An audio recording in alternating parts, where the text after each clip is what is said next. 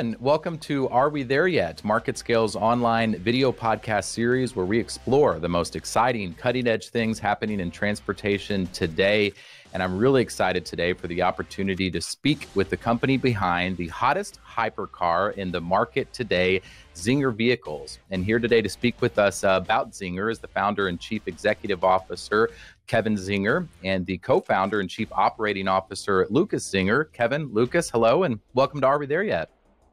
Hi, Grant. It's our pleasure to be here.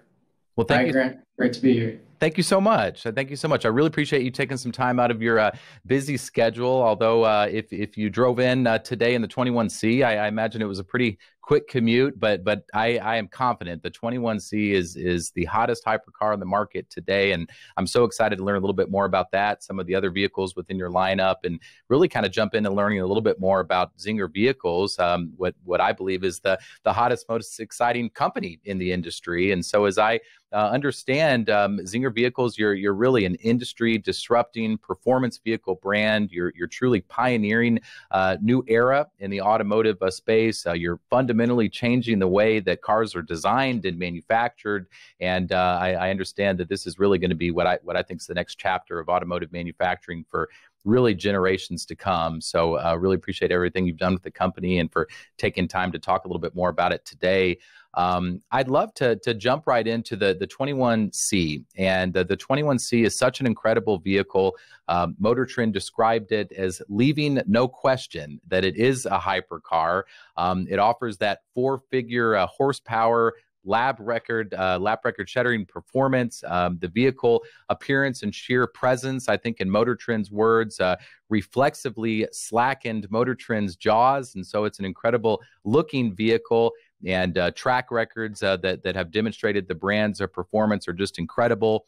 And uh, I know that there's a lot of car enthusiasts within the audience uh, today. And so, for those that want to hear more about the specs, zero to 62 miles per hour in less than two seconds, a top speed of 253 miles per hour. Um, but what I'm really excited about is impressive as, as all of this is, and it is, I understand that that really your grand vision goes much uh, beyond this. And so I can't wait to learning a little bit more about that. But but first, if, if you don't mind, I'd, I'd love maybe hearing a little bit more about maybe the performance and the specs of the 21C. Do you mind maybe telling us a little bit more, you know, first about this incredible car that you've developed? Lukas?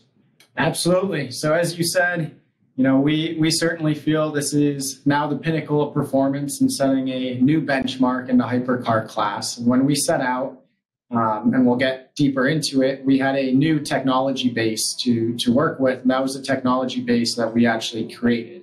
And having that new technology base, we said, we're going to make the ultimate vehicle. And the ultimate vehicle for us was really a vehicle that would shatter performance across all the most meaningful metrics and for us, a lot of those metrics were true car performance around a track, zero to 60, quarter mile, zero to 400 to zero. And a lot of those come down to your aerodynamics, your power delivery, and your power to weight ratio. So, uh, top line specs for the 21C, as you said, uh, horsepower in, in kind of the four digits there, uh, 1350 total horsepower, 1250 uh, kilogram dry weight, so better than one to one power to weight, zero wow. to 60 in just 1.88 seconds, and the quarter mile in just about eight seconds flat. Wow. Wow. That's incredible. Those are some some serious specs. Um, yeah. And what I think is really interesting too is that you know the 21C it, it's not your first hypercar. Um, you you introduced the Blade um, through Divergent, as I understand, back in 2015, and that kind of led was kind of a starting point to the 21C, and uh, then then came out with the 21C, the 21 um, see VMAX and um, are, are, starting to kind of hint a little bit uh, to some of the exciting things uh, about the Hyper GT, for example. Um, I'd love, um, you know, before learning a little bit more about the the company and and and Divergent and just kind of how a lot of this came together. And I can't wait to jump into that. But but I'm so intrigued by by the models. Do you, do you mind maybe talking a little bit about kind of that evolution from uh, the Blade to you know where you are today with the Hyper GT? Sure. So, you know, as Lukas said, uh, the team that created the car first created a set of digital tools. And really, the first set of tools that used supercomputing and additive manufacturing and automation to allow you to express ideas about how to create performance in a way that's never been possible before. And the first car that we did, the Blade, uh, was really uh, a laboratory. That was not intended to be a vehicle that would be fully homologated and sold to customers. It was really the test bed for saying if you have these tools, how can you express the ideas you have in performance and design and what type of structures a vehicle would have? And so that that was really uh, you know the initial rationale for creating the blade vehicle and then from there once we saw that if you have these tools you can create a totally different organizational structure for a company you can create totally different business model and economics you know then you know once we knew that lukas and i founded uh, czinger vehicles and brought out the 21c very good, very good. Develop develop the tools and then kind of gotten into the models. That's incredible. Why why why was there a need to to develop uh, tools, um, uh, you know, versus what's what's been done traditionally? Can you tell us a little bit more about kind of the origin of identifying there, there there's got to be a new set of tools and and is really a need for it as we continue to kind of evolve within the industry? Sure. So. Uh, you know, in different ways, Lukas and I have been involved in uh, the scale production of cars going back to uh, you know my co-founding an EV car company and an EV battery design manufacturing company mm-hmm. as joint ventures in China around 2006. Lukas actually worked on a factory floor of uh, the car company in northeast uh, China back around 2010. And when you're looking at how cars are manufactured, even today, whether it's Toyota or Tesla, the same basic manufacturing technology that was created 100 years ago, taking a piece of sheet steel or aluminum and basically stamping that two dimensional piece of sheet steel into something that's three dimensional and then fixturing it on an assembly line and welding one piece to the next piece, going to the next station, doing the same thing. That's 100 years old. That hmm. fundamentally analog manufacturing. Yeah. You look at today, you know, we have all of this computing power. We looked at that and said, rather than look at taking that manufacturing typewriter and trying to digitize it the way that IBM tried to digitize the typewriter in the 1970s and added two lines of memory. Yeah. Instead, mm-hmm. create Mac desktop publishing cars. And okay. about 600 patents or so later, we have a full system. You know, I started out as the lead inventor in the company.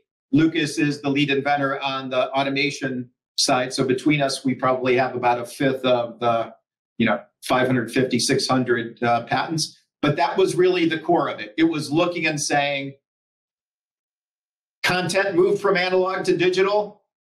The physical world needs to as well for economic and environmental and creative reasons.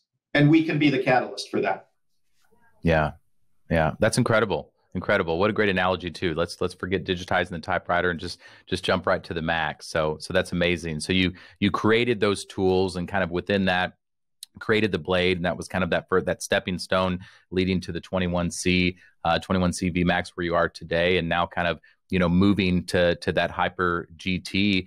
Would you mind kind of um, kind of you know continuing within that process to to where you are you know today? Um, how how are some of those kind of tools um, you know really applied to kind of this next evolution, the uh, the Hyper GT? You mind maybe telling us a little bit more about that model?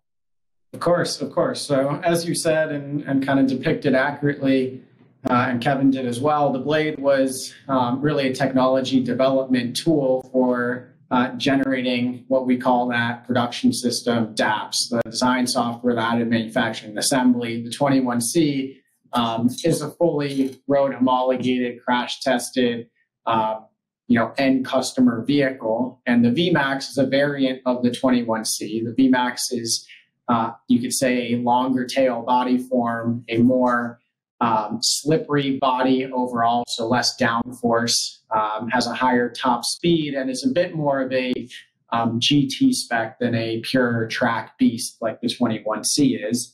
Uh, the Hyper GT for us is really a nod to the future. So it's showing where's Czinger vehicles going.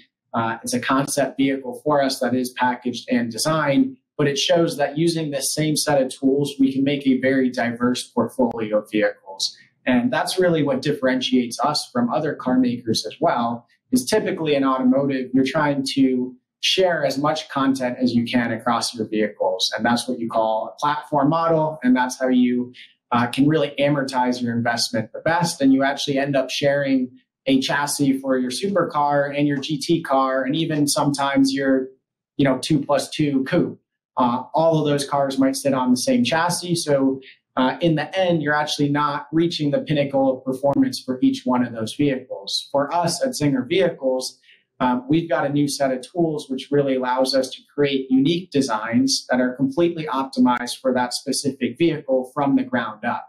Uh, and that's really what the Hyper uh, GT shows as well as a brand new chassis architecture, a brand new powertrain uh, architecture as well, and brand new vehicle developed by you know this young brand as a technology leader and showing that hey we don't need a platform share we don't need to cut corners here uh, or really sacrifice performance we can create segment defining vehicles and that's what we're about. That's really interesting to me and and these vehicles are just just in, in incredible per performance vehicles. Do you see you know application uh, of these tools that you've developed uh, into you know other other vehicle segments, uh, for example, and whether that's through you know your organizations or through you know partnerships, collaborations with other auto manufacturers. Does it does it apply to you know uh, totally different other other vehicle segments as well? Yes. So I mean, on the technology company side with Divergent, mm-hmm. uh, we now have uh, six major OEM brands that we work with. It's already been announced that we're working with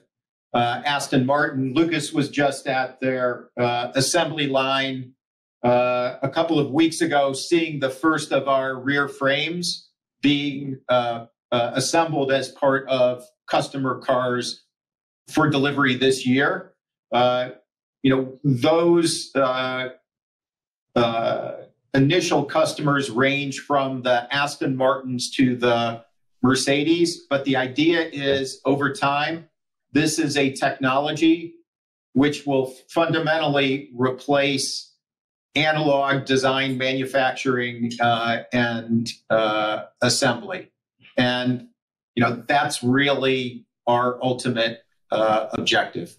Yeah, and I'd say you know, this this is a technology, and, and we call it an adaptive system for a reason. That's not going to become stale. It's going to continue to adapt, and to continue to adapt it requires something pushing that adaptation. And I'd say Czinger Vehicles is pushing that. It's really a technology partner to Divergent, and it's coming up with these new system designs and constantly pushing the boundaries of what that system can create. And that sort of relationship between the two companies is, uh, I think, very, very beneficial from everything from creating IP to new products that eventually you'll find in, uh, you know, other OEMs' vehicles. But Czinger will always be at that uh, bleeding edge and really demonstrating to to the industry what is new and what is better. Yeah, yeah, that's incredible. I'd I'd love to learn a little bit more uh, about that, about the the the companies. So Divergent and of course Czinger Vehicles, and you've mentioned too some of the other partnerships. But you know, for the audience members that maybe aren't so familiar um, with kind of that that structure and and and the companies uh, that you've founded uh, within development of, of, these tools and, and vehicles, do you mind maybe introducing us a little bit more to kind of maybe each company, Czinger and, and Divergent, and kind of the relationship between the the two organizations within you know what what you've shared with us? Sure. I mean, Divergent and Czinger vehicles are uh, they're family related uh, companies. Yeah. Uh, like Lukas and I are, are related in that Divergent is the 70% plus owner of Czinger vehicles. Mm-hmm. Uh, I'm the founder of uh, of Divergent. Lukas and I are co-founders of Czinger Vehicles. I started the company Divergent going back to 2014 with that idea that uh, Lukas and I when we were building EVs mm-hmm. looked and said, people are talking about things like Industry 4.0 and digitization within automotive. Mm-hmm. But once again, it was really trying to digitize the typewriter, not thinking from a clean sheet of paper. And so that company was founded to do that. And, you know, Czinger, as Lukas said, and Divergent, they were designed to be complementary. One's designed to be the tools, then you use those tools to express new products, new architecture, and beyond that cutting edge. And that in turn feeds back into the improvement of those tools. Mm-hmm. Then, once again, allowing or enabling the team at Czinger to be even more creative in the way that they design, the way that they integrate different structures, the performance that's gained, the type of vehicle niches you go in. I mean, there's a reason it's called vehicles and not just cars. Mm-hmm. I think over time, you know, we will become more and more uh, creative in what we do. Uh, the Divergent company has raised to date over $500 million. The companies together, they're both located in the same building uh, in Los Angeles. It's both uh, uh, a research and development facility and an actual production uh, and testing facility. So everybody is under that one roof. It's about 300 employees, primarily uh, engineers and uh, scientists that uh, Lukas and I lead and uh, and manage. The first five years of the company, we're really inventing that system and exploring that architecture through Divergent and Czinger vehicles. Now, Divergent is in the commercialization stage. We've not only started to commercially scale, and respectfully, I think we're a decade or more ahead of where people thought additive manufacturing or digital design and manufacturing would be. And we're mm-hmm. starting to scale now with major companies. On the Czinger side, the 21C, which will be you know, fully uh, crash homologated vehicle, uh, full compliance with California Air Resource Board's most uh, uh stringent uh, uh, pollution, air pollution regulations. That car will be in customer hands this year. And so, you know, we're now in the commercialization stage. In addition, I would say on the divergent side, uh, General Atomics, which is the largest defense drone maker for the United States, announced that they have multiple production programs with us. And just to give you an idea as how disruptive this technology can be across many different segments, you know, we took a, a couple meter long fuselage for a drone mm-hmm. and we reduced the number of parts from over 140 down to four by splitting the fuselage into four sections and then printing in the fuel tanks, printing into the skin, heat exchangers, bracketry, and other things.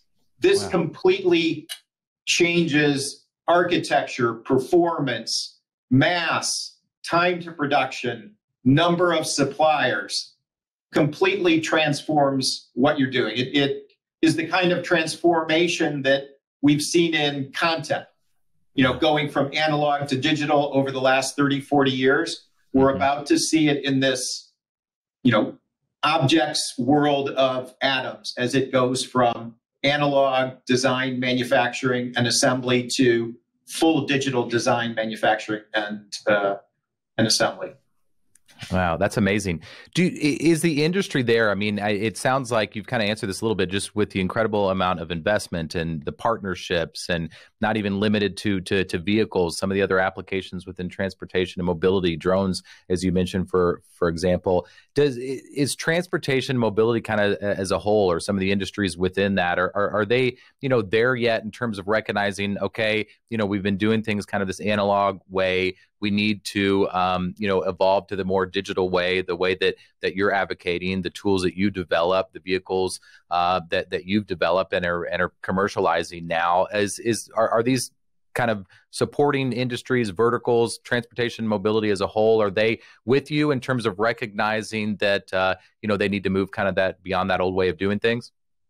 Yeah, I'd say you know the cat's out of the bag in terms of what digital manufacturing is, and that it's going to be the future. Um, I think in the last 18 months, we really saw almost every one of the large OEMs and OEM groups come on board with that vision. And, you know, Kevin and I were in Europe for the last two weeks, um, and we met with about eight different CEO and CTO groups across all the big OEMs. Um, mm-hmm. They all understand this vision. They all know it's going to happen. Uh, the difference between them is just what pace are they integrating that technology at, and you know what is their risk profile and what is their appetite. But I'd say 10 years from now, everyone's going to be using this production method and design method. Uh, and who's going to be a leader and first adopter? Um, we're already seeing signs of that, right? Aston Martin as our first customer, Mercedes and others uh, picking up very quickly. And I'd say some of the US OEMs uh, really starting to get the picture as well. Yeah, that's great. Great to hear. Great to hear that they're they're they're they're there or getting there. It sounds like so that. Yeah, awesome. yeah. I'd say when when we started, you know, the the company's about seven years old, and we probably started talking to our first customers about five years ago. Um, there was much more hesitation. I think you know the general um, vision was so far ahead of the current technology picture, um, and we hadn't scaled yet to a real proof point um, that at that point there was more friction in those conversations. But really, in the last 18 months, we have such a large data set. We've got the Czinger car running and having passed crash with flying colors. We've got vehicles with OEMs that have gone through full crash. We're delivering structures every day. Uh, is simply something you can prove by hosting a, a visit to our facility at this point. Yeah, no kidding is is y'all shared. I mean, you've moved just so quickly, and I think that's probably um, a lot of the reasoning, kind of testament to why you know others are get are really getting it now. I mean, you've really demonstrated it, you know, uh, through the tools you developed with Divergent, and and now kind of commercializing it and, and showing the power of it through through Czinger. So that's incredible. Um, w- within these tools and, and and and systems, and kind of this evolution to the digital age of, of manufacturing and assembly, as you shared, you're, you're really taking advantage of you know a lot of of really incredible technologies and tools and kind of bringing a lot of that together within within now your tools and, and process. And so you know you've touched on a little bit you know integrating you know ai technologies 3d printing um, you know uh, the latest in additive manufacturing for example supercomputing um, and and doing a, a, lot of this too while you know it, it's also a more in, in environmentally conscious uh, approach to it as well. So it's really bringing in just uh, you know a, a, lot of different kind of technologies and, and methodologies. Do you mind maybe just touching on a little of those areas? I mean i find for example like the 3d printing component to be you know really fascinating but you know within kind of your tools and processes the 3d printing the ai kind of supercomputing bringing some of those areas together. You mind maybe just kind of high level touching on some of those um, you know areas within the the tools now that that, that you offer? Sure. I'd say the fundamental principle that has allowed us to get to this point has been you know a systems approach to things which is you know if you want to build a system you can't go out and say what exists out there and how do i bolt it together into something right? Because what exists out there is there to digitize the typewriter. So you needed to create a new architecture and you needed to be ready to invent a full system. And one thing you find out when you do that is that there is an interrelationship between each part of the system. So, say you use computational power to generate a structure that is as light as it can be while meeting all of the crash and other requirements. And you do that through you know, simulations that are making trade offs between different structures until you get that perfect structure. Then you still need to print and assemble it.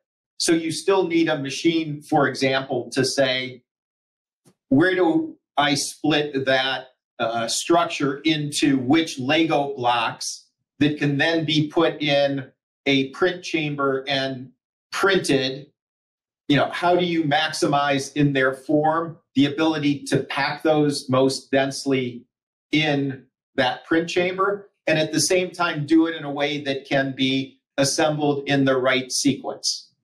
The same thing with materials. You need to create materials that have never existed as alloy formulations before so that they can both meet automotive requirements or exceed requirements so that you can design in new ways and yet still using say the laser power and other technology that you have that you're able to print those materials. All of those things are uh, interrelated and take you know uh,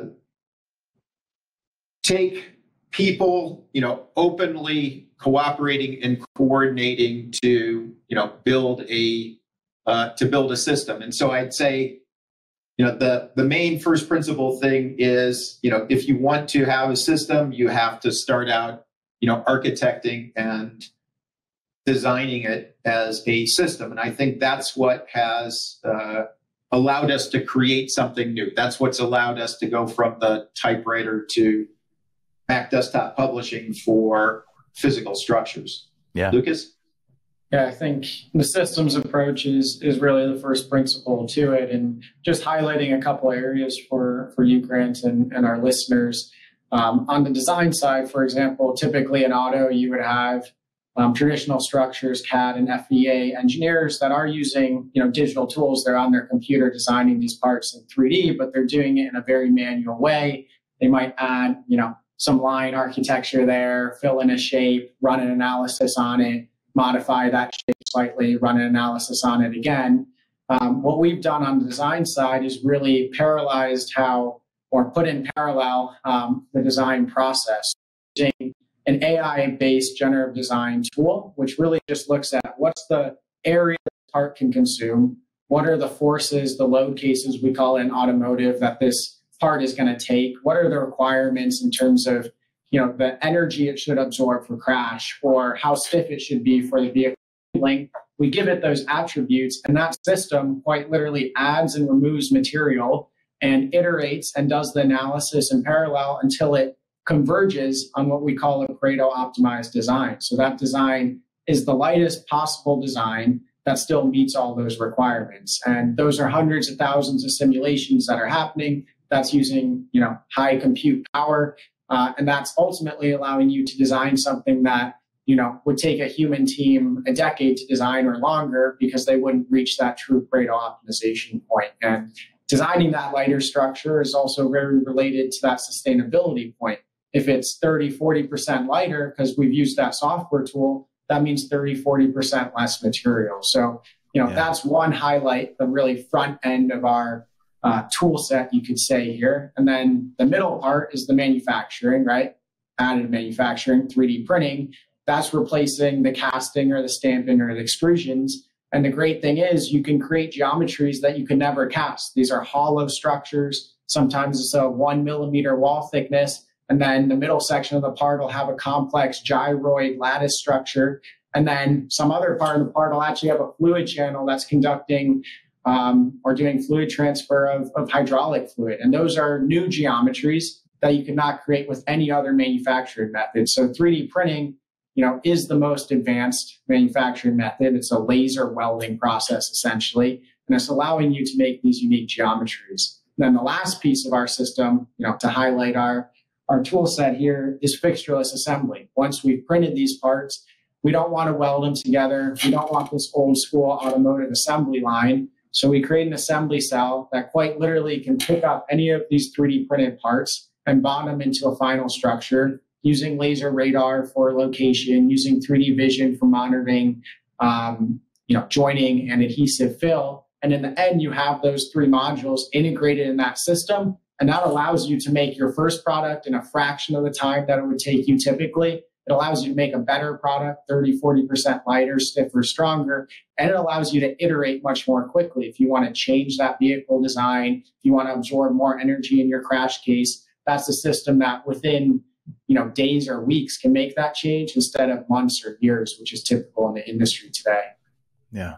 Yeah. Wow. Thank you so much. Uh, those are incredible principles, and make, makes a lot of sense how that how that's had really all come together. Uh, interesting to me too that you know really the, the automotive industry really really took off. You know with the um, in, invention of, of, of Ford's uh, assembly line, and now today in 2023, we're saying that you know maybe maybe we don't need the assembly line. There's an even better way to do it. It sounds like. Well, after 100 plus years, you would hope that would be the case, right? Wouldn't you? Yeah, and, yeah. It's it's yeah. And what you know, what I would say is, you know, what Lukas touched upon as it relates to the environment. Imagine you have, you know, large uh, companies that sell millions of vehicles, and within a 10, 15 year period of time, across that entire vehicle fleet, you've reduced the mass, the material and energy required to build the vehicle and the efficiency of product by 20, 30% or more across an entire vehicle fleet. And wow. so when we're talking about uh, you know digital design of these structures, to use an analogy, uh, if you look at the the you know a beer can from 50 years ago, it required 83 grams of aluminum, and almost none of it was recycled. It okay. had a very thick wall and a different tab. Today, when we buy a beer can, it's just as useful, but it has a different tab and a much thinner wall. It's reduced that 83 grams of aluminum required down to less than 13 grams from 83 wow. to 13 while still having the same product usefulness and almost all of it's recycled. So we looked and said that's what you use computing power for.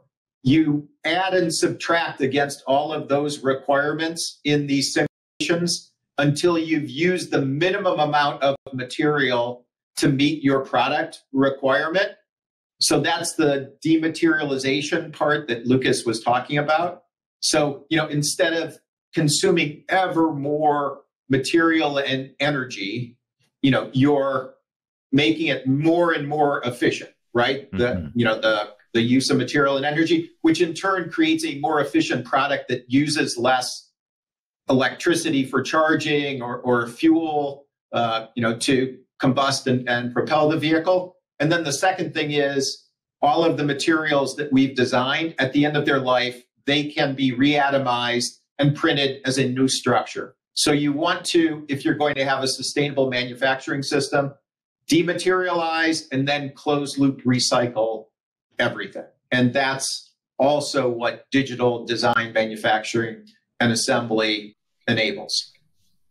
Wow. Wow. That, that's incredible and, and and not even limited. I mean that that's amazing to think when you think it, it of uh, you know partners uh, with millions of vehicles and seeing those kind of uh, reductions in their um, uh, material requirements. I mean is is just amazing. Doing more with less and as, as you've kind of alluded to already too, it's it's not even limited to just that. As as incredible as that is, I mean, you're working, um, you know, with organizations um, uh, manufacturing drones, for example, and other methods of transportation and mobility. So if we can really apply, you know, some of these tools to all areas within transportation and, and mobility, the um, material savings uh, and uh, is, is going to be pretty incredible. Uh, it sounds like.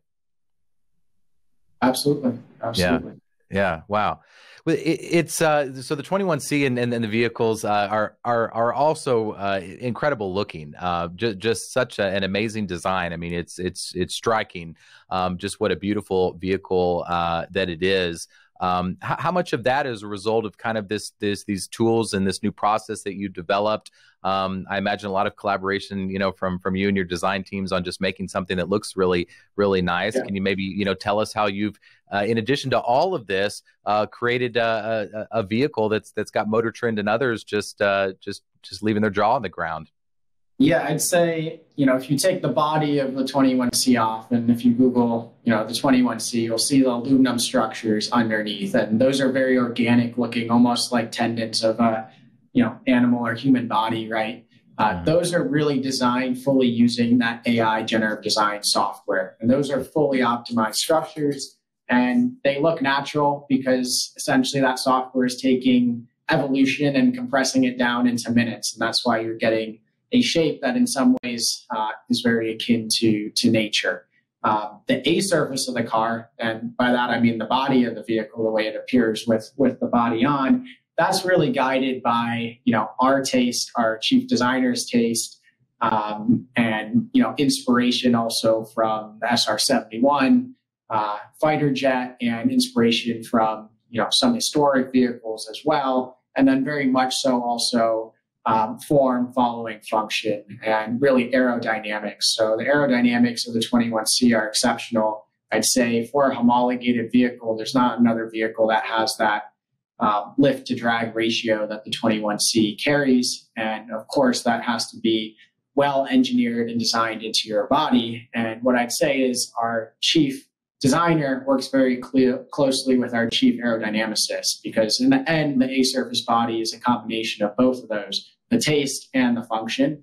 And at the price point we're selling, we tried to make a car, and I think we succeeded, that was also elegant, that was going to be timeless, that 20 years from now, you'd look back and say, you know, those are purposeful, elegant lines uh, on the vehicle. So in the end, I think it's a very high tech vehicle. It's the highest performing vehicle in the world, but I do think we we also uh, do have a timeless design, the 21C. Very much so. Yeah, mission accomplished there. It, it is certainly timeless. It is certainly elegant, and uh, and, and congratulations. The, the the highest tech, highest performing. Uh, I would agree. Most most beautiful, most elegant looking vehicle out there. Um, that that that's pretty incredible. So so certainly congratulations uh, on that.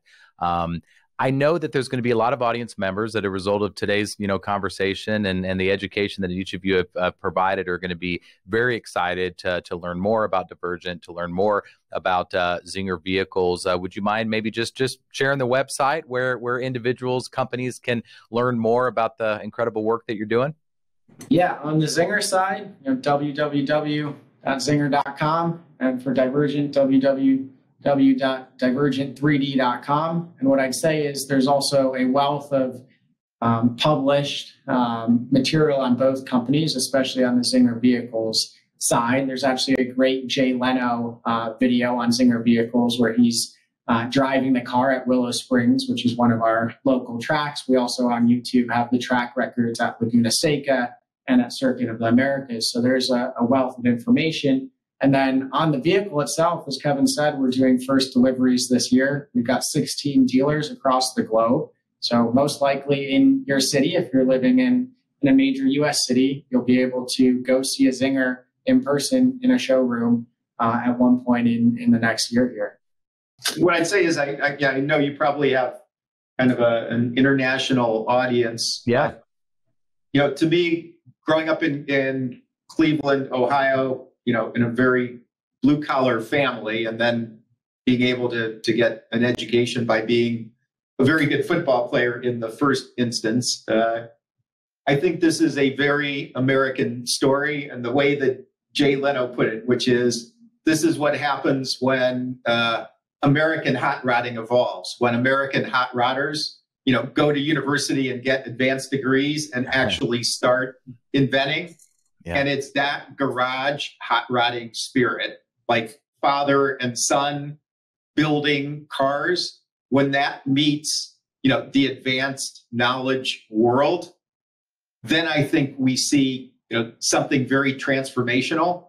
And I think there's a reason why that's uniquely happened in America, and I think will happen more and more in this century. Definitely so. We're we're we're so proud, and and, and that's incredible. It, it is just an amazing American story, um, and and really what happens when when just as you said, as, as Jay Leno said, when hot rodders kind of meet tech and and and, and apply it all, th- this is the result of that, and it's it's an incredible result. And again, just congratulations on just the the amazing accomplishments in, in such a a, short period of, of time. And I know that myself and a lot of us out, out there are so excited to see one uh, in person, so excited to learn more about the companies and projects, and uh, very excited too about what what next uh, for the organization. So I know we'll we'll all be watching closely, but but thank you uh, both so much for for taking the time to, to stop by and to talk within the Are We There Yet podcast. Uh, this has been um, uh, just really an incredible conversation, a dream conversation for me as someone that's very passionate um, about vehicles as well. So so thank you both for taking the time to stop by. I really appreciate it. Thank you, Grant. And if you're ever in the LA area and uh, want to come and see like Westworld for cars, come and drop by and have your mind blown. Thank you so much. I'm I, am going to make it happen. That sounds wonderful. Appreciate the invitation. Well, thank you all so much. I hope you enjoy the rest of your day. And again, really appreciate your time. Thank you, Thanks. Thank you.